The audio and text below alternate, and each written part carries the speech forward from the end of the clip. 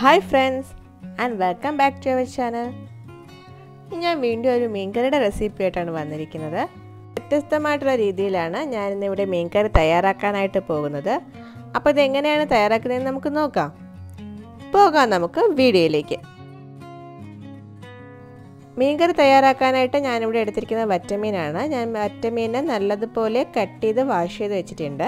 ഇനി നമുക്ക് വേണ്ടത് ചെറിയ ഉള്ളി ചെറിയ കഷ്ണങ്ങളാക്കി അരിഞ്ഞത് പച്ചമുളക് നീളത്തിന് അരിഞ്ഞത് ഇഞ്ചി ചെറിയ കഷ്ണങ്ങളാക്കി അരിഞ്ഞത് കറിവേപ്പില ആവശ്യത്തിന് മുളക് പൊടി ഒരു മൂന്ന് ടേബിൾ സ്പൂൺ ഒരു ടേബിൾ സ്പൂൺ മല്ലിപ്പൊടി കാൽ ടേബിൾ സ്പൂൺ ഉലുവ കാൽ ടേബിൾ സ്പൂൺ മഞ്ഞൾപ്പൊടി മൂന്ന് കഷ്ണം കുടംപുളി ആവശ്യത്തിന് ഉപ്പ് ആവശ്യത്തിന് എണ്ണ.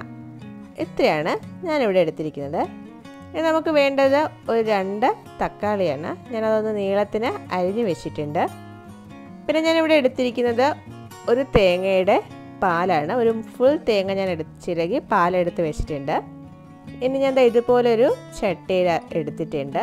ചട്ടിത നല്ലതുപോലെ ചൂടായതിന് ശേഷം അതിലേക്ക് ഞാൻ ആവശ്യത്തിന് എണ്ണ ഒഴിച്ചു കൊടുത്തു.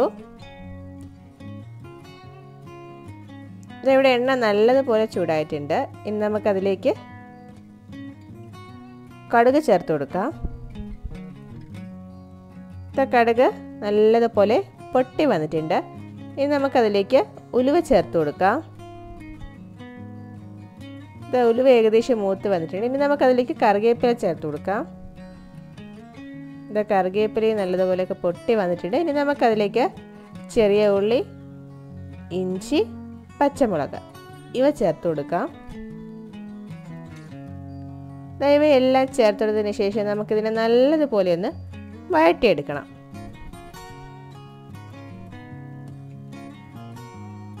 നമ്മുടെ ചെറിയ ഉള്ളിയാണ് ഞാനിവിടെ എടുത്തിരിക്കുന്നത്. അപ്പോൾ ചെറിയ ഉള്ളി എന്ന് പറയുമ്പോഴത്തേക്ക് നമ്മുടെ മീനിനൊക്കെ ഇത്തിരി ടേസ്റ്റ് കൂടുതലായിരിക്കും ചെറിയ ഉള്ളി യൂസ് ചെയ്യുമ്പോഴത്തേക്ക്. ഞാൻ അതിലേക്ക് കുറച്ച് ഉപ്പും കൂടെ ചേർത്ത് കൊടുക്കുകയാണ്. അപ്പോൾ ആ ഉപ്പ് ചേർത്ത് കൊടുക്കുന്നത് എന്തിനാണെന്ന് എല്ലാവർക്കും നല്ലതുപോലെ അറിയാം. നമ്മുടെ ഉള്ളിയൊക്കെ പെട്ടെന്ന് വേണ്ടതാനായിട്ടാണ് നമ്മുടെ ഉള്ളിയും ഒക്കെ നല്ലതുപോലെ വഴണ്ട് വന്നിട്ടുണ്ട്. ഇനി നമുക്കതിലേക്ക് മസാല ചേർത്ത് കൊടുക്കാം. ഞാൻ മുളക് പൊടി ചേർത്ത് കൊടുത്തു. മല്ലിപ്പൊടി മഞ്ഞൾപ്പൊടി ഇവ ചേർത്തതിന് ശേഷം നമുക്കിതിനെ നല്ലതുപോലെ ഒന്ന് മിക്സ് ചെയ്തെടുക്കാം. നമുക്കിതിനെ നല്ലതുപോലെ ഒന്ന് മൂപ്പിച്ചെടുക്കണം. അപ്പോൾ നമുക്കൊന്ന് ലോ ഫ്ലെയിമിലിട്ട് മൂപ്പിച്ചെടുക്കാം. ഇല്ലെങ്കിൽ പെട്ടെന്ന് ഇതൊന്ന് കരിഞ്ഞു പോകാനായിട്ട് ചാൻസ് ഉണ്ട്. അപ്പോൾ നമ്മളിത് ലോ ഫ്ലെയിമിലിട്ടാണ് കേട്ടോ മൂപ്പിച്ചെടുക്കുന്നത്. നല്ലതുപോലെ മൂത്ത് വന്നിട്ടുണ്ട്. ഇനി നമുക്കതിലേക്ക് നമ്മുടെ തക്കാളി ചേർത്ത് കൊടുക്കാം. നമ്മുടെ തക്കാളി നമുക്ക് നല്ലതുപോലെ ഒന്ന് വേവിച്ചെടുക്കണം. നല്ലതുപോലെ ഒന്ന് വെന്ത് വെച്ച് വരുന്നതിനായിട്ട് നമുക്കിതിലേക്ക് പുളിവെള്ളം ചേർത്ത് കൊടുക്കാം. നമ്മുടെ കുടമ്പുളി ഇട്ട് വെച്ച വെള്ളമാണ് ഞാൻ ഇതിലേക്ക് ഒഴിച്ചു കൊടുത്ത് ഇത് നമുക്കൊന്ന് നല്ലതുപോലെ ഒന്ന് വേവിച്ചെടുക്കാം.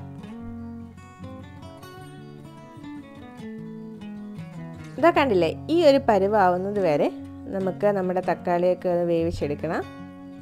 എങ്കിലേ നമുക്ക് നല്ല ടേസ്റ്റ് കിട്ടത്തുള്ളൂ ഈ ഒരു പരുവത്തിലാവുന്നത് വരെയാണ് വേവിച്ചെടുക്കേണ്ടത്. ഇനി നമുക്കതിലേക്ക് നമ്മുടെ തേങ്ങാപ്പാൽ ചേർത്ത് കൊടുക്കാം.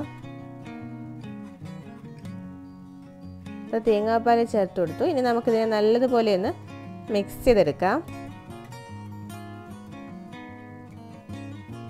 ഇത് നല്ലതുപോലെ മിക്സ് ചെയ്തെടുത്തതിന് ശേഷം നമ്മൾ കട്ട് ചെയ്ത് വെച്ചിരിക്കുന്ന നമ്മുടെ ഫിഷ് ഇതിലേക്ക് ചേർത്ത് കൊടുക്കാം.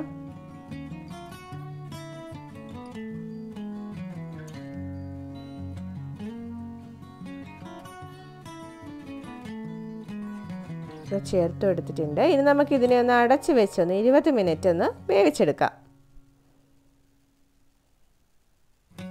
ഇരുപത് മിനിറ്റ് കഴിഞ്ഞിട്ടുണ്ട്. ഇതാ നമ്മുടെ മീൻകറിയൊക്കെ ഇവിടെ റെഡി ആയിട്ടുണ്ട്. കണ്ടില്ലേ? നല്ലതുപോലെ തിളച്ച് വരുന്നുണ്ട്. ഇപ്പോൾ നല്ലതുപോലെ കുറുകിയൊക്കെ ഇരിപ്പുണ്ട്. കണ്ടില്ലേ? അപ്പോൾ ഇന്നത്തെ നമ്മുടെ മീൻകറി ഇവിടെ റെഡി ആയിട്ടുണ്ട്. അപ്പോൾ ഇന്നത്തെ എന്റെ വീഡിയോ എല്ലാവർക്കും ഇഷ്ടമായെന്ന് കരുതുന്നു. ഇഷ്ടമായെങ്കിൽ ലൈക്ക് ചെയ്യുക. നിങ്ങളുടെ അഭിപ്രായങ്ങളും നിർദ്ദേശങ്ങളും ഒക്കെ താഴെ കമന്റ് ബോക്സിൽ കമന്റ് ചെയ്യുക. അതോടൊപ്പം നിങ്ങളെന്റെ ഈ ചാനൽ ആദ്യമായിട്ടാണ് കാണുന്നതെങ്കിൽ സബ്സ്ക്രൈബ് ചെയ്യുക. സബ്സ്ക്രൈബ് ചെയ്യാൻ അതിന്റെ സൈഡിൽ ചെറിയ ബെല്ലൈക്കൺ ഉണ്ടാവും. അതും കൂടി ക്ലിക്ക് ചെയ്യുക. എങ്കിൽ മാത്രമേ ഞാൻ പുതിയ പുതിയ വീഡിയോസ് അപ്ലോഡ് ചെയ്യുമ്പോൾ നിങ്ങൾക്ക് നോട്ടിഫിക്കേഷൻ കിട്ടത്തുള്ളൂ.